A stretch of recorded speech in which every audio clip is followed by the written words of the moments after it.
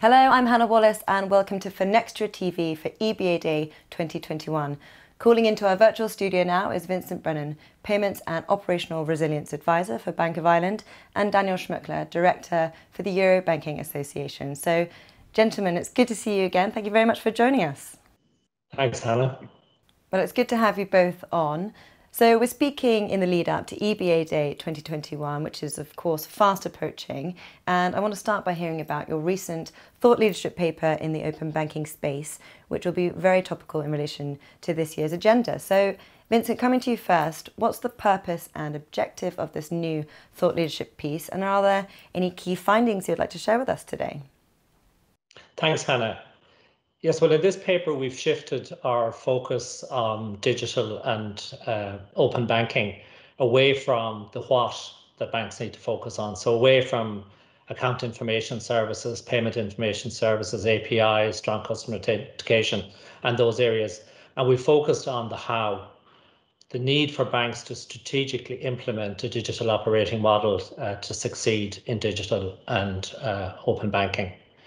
Uh, the paper is informed by our Open Banking Working Group membership, which is drawn from both our banks and our ecosystem partners. It's informed by our research partner, InnoPay. And this time round, it's really enriched by insights from 12 leading CIOs, chief data officers, and other uh, open banking experts from our, our member base. Um, so we're really excited to have their insights on the opportunities, the challenges, and their areas of focus. In terms of key findings, the headline finding from the paper is that digital banks are consistently focused on their customers. They understand the value of their data. They open up to leverage ecosystem opportunities. They're enabled rather than constrained by their technology.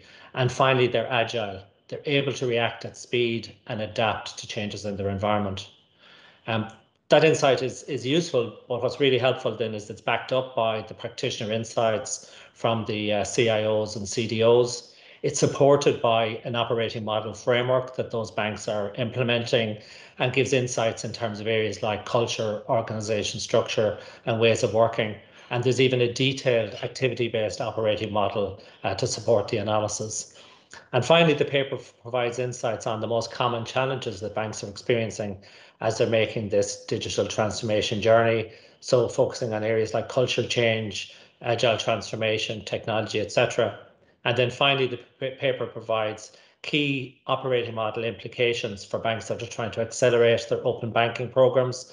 So things like the need to adopt an API mindset, the need to have a central open banking center of excellence, but that enables and empowers businesses and product teams locally, and that it ensures that uh, open banking is a strategic priority from the top of the organisation.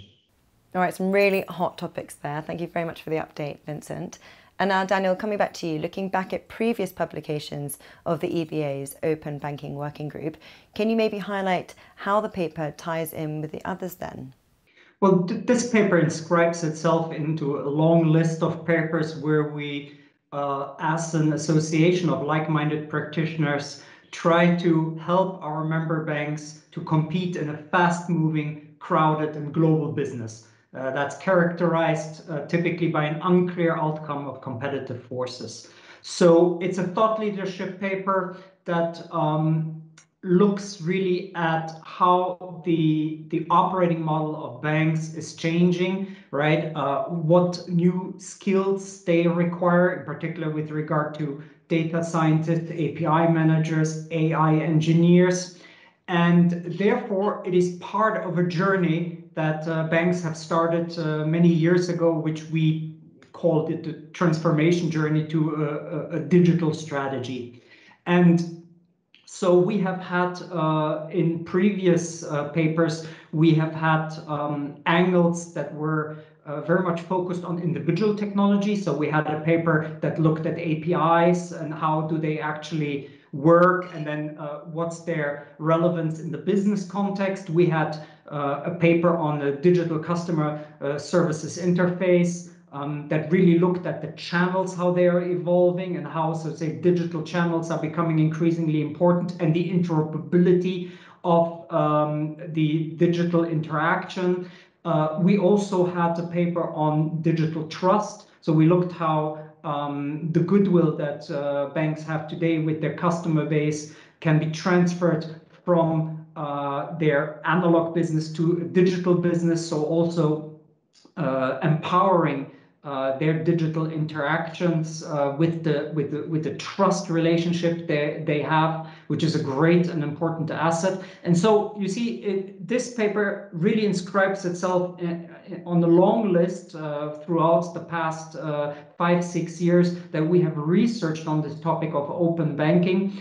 And uh, it sets the scene basically for the development uh, within the banks of new services that enable new streams of revenues that are really uh, native to the digital uh, channels that uh, that banks are, are developing.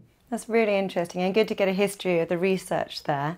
And so, Vincent, what's next then? What's next on uh, your agenda and what can we expect? Well, Hannah, at a personal level, I'm stepping down from my role as ch Deputy Chairman of the Association and from my chairmanship of the Open Banking Working Group. Uh, this coincides with the end of my career at Bank of Ireland. Um, I expect after a suitable downtime this year, I'll uh, re-emerge in the industry late this year, or early next year, and stay active in the industry at a thought leadership or strategy level, as well as at the implementation and operations level.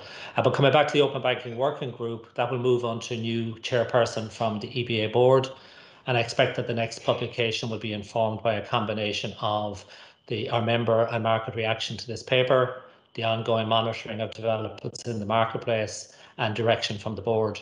Uh, but as we've talked umpteen times through this uh, Finextra channel, there's no shortage of thought leadership topics in the space of digital and open banking transformation uh, for banks and for the industry.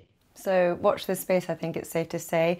Uh, gentlemen, it's been really good to touch base again, and hopefully uh, next year we'll be face to face. But for now, we'll leave it there. Thank you very much. Thank Thanks, you. Anna.